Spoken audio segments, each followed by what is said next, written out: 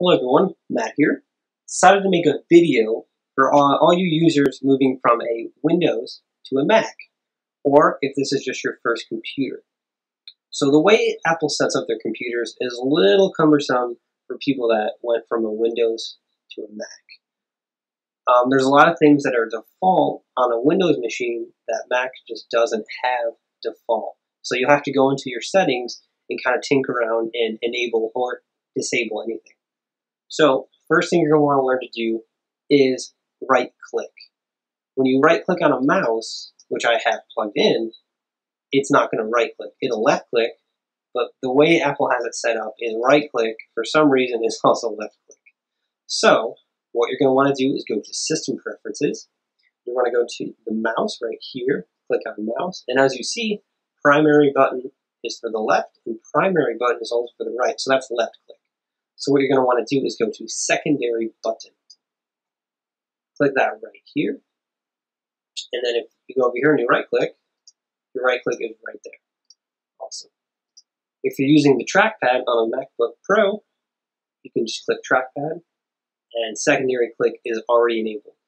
The default way Apple has it is click with two fingers.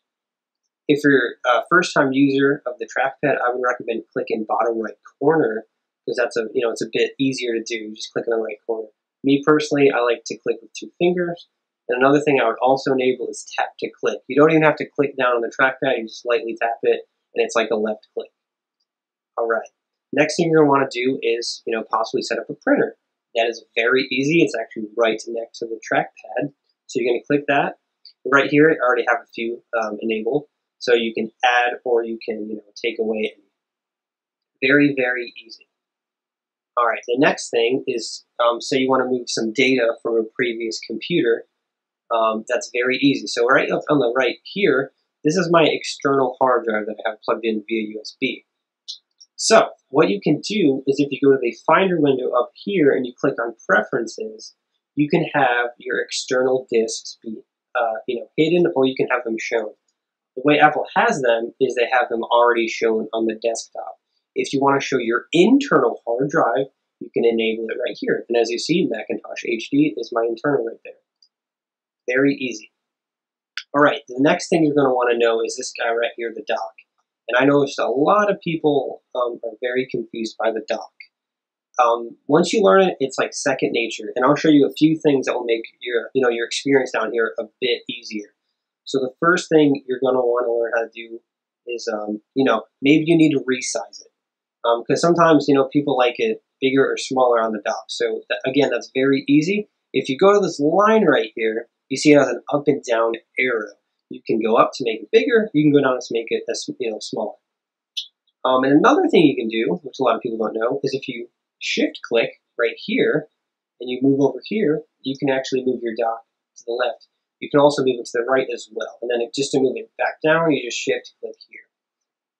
Um, I noticed a lot of people um, they don't like the dock because it gets in the way of their windows. So if I were to open up Safari right here, you'll notice that if I wanted to drag it down, it just kind of stops, you know, right on top of the dock. But you're like, well, you know, say say I want to, you know, go all the way down here, you can uh, disable the dock where it only is um, shown when you hover over it.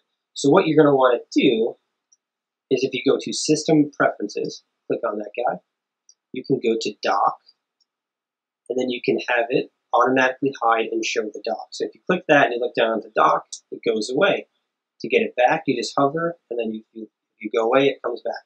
So let's show you with Safari, if it's gone, and you drag Safari down, there it is. It does cover Safari, though, when you do have it up like that. All right. So let's bring it back for you guys. And while we're here, another thing that is very, very, very helpful, I've noticed to kind of, you know, save your time, is if you double click a window, uh, the title bar to minimize it. Again, this is in dock in your system preferences. So if we, you know, enable that, say we go to Safari, instead of going over here and clicking this uh, yellow uh, minus sign, which minimizes it down on the dock, you can double click anywhere in the gray area. So if you click double click here, it minimizes it you double click over here, it does the same thing. A lot of stuff that will become second nature to you once you become a very avid user of the Mac. All right, so next thing we're going to want to do is internet use, because a lot of people that get Macs, especially the MacBook Airs, they do, you know, internet. So email, YouTube, Facebook, etc. All right, so we already have Safari open, so let's click that. Um, as you see, if you're familiar with any iOS devices like the iPad or the iPhone, this is what it looks like when you open Safari. It automatically has your favorites.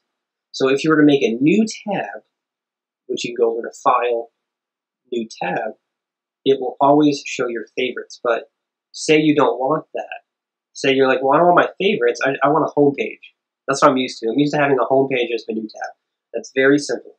You're just going to go to Safari, then you're going to click Preferences, and that's going to pop up. And then as you see right here, Apple is currently what would be set as the home page.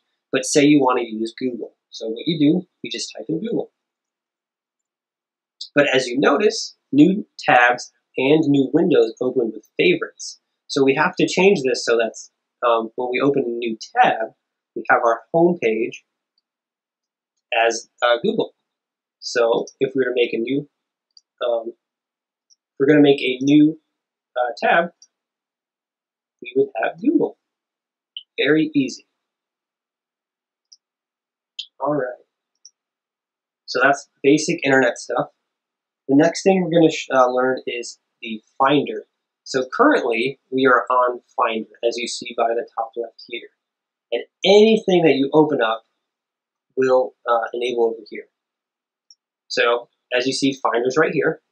If we were to open up Safari, on the top left, it has all your Safari and all your um, all your preferences, etc. Which is very, very useful, which I love on the Mac. Anything you open will show up on the top left here. So we click on Finder, it'll change back to Finder right here. And as you see, we have our favorites, and then we have devices, and then we have tags. So you can actually change the colors of certain files if you want to have them stand out, or if you just want to be um, organized. Um, if you see on devices, it has my external drive. So if I clicked on it, it'll show you know what's in my external drive, which are time machine backups. And this right here, if you click on that, it um, it will uh, eject your drive, which you always want to do with an external drive. You're always going to want to eject it. You're going to want the um, the read heads to slow down and stop so you can eject it.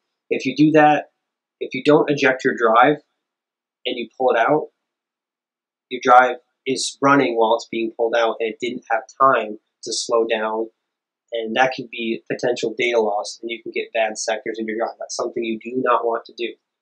All right, and I, I notice a lot of people switching from Windows to Macs. They are like, I can't find anything on my computer. I don't know where my movies are, my pictures, you know, I just can't find them. And as you see, the way Apple has it set up, there's no little hierarchy for pictures, movies, you know, and um, so just, you know, basic files that you would want. So what you're going to want to do, very simple. You're going to want to go to your Finder. You're going to click on the Finder, and then you click on Preferences. And then you're going to want to go to Sidebar, which is right here. Sidebar. And as you see, the three things, ironically enough, people get Macs for are movies, music, and pictures. And they show up right here. So if you have any pictures in your computer, they will automatically go to iPhoto, which is really good. So if you put any music in the music category, will automatically go to iTunes. If you have any movies, they will automatically go to iMovie, which is really, really good. All right. So the last thing I want to show you guys is Spotlight. And Spotlight is one of my favorite things that the Mac OS has. So it's very, very awesome. So what you're going to want to do, you have this magnifying glass, and that's called Spotlight. So if you click that, it will show up right here. On older versions of, uh, or versions earlier than uh, 10.10, say 10.9, if you click on Finder, it have a little blue kind of rectangular window right here. But on 10.10, it shows up right here. So basically, you can search anything you want in your computer. So let's see, if, if I couldn't find um, uh, the calendar, I would just, it, it, actually, you would just type calendar and it actually finishes what you, what it thinks you want to use. So we have calendar right here. If I just click enter, my calendar pops up if you and if you click on, let's see, um, I can't find the App Store, you just do App Store. And then as you see right here, it's opening the App Store. All right. So uh, there's a video. If you guys have any questions, uh, you know, leave some comments. I, I will gladly make more videos like this. Uh, I love teaching people about the Mac OS because um, I know it's there's a lot of things that you know are a lot different from Windows or just other operating systems in general. Hope you guys liked the video. Thank you and have a good day.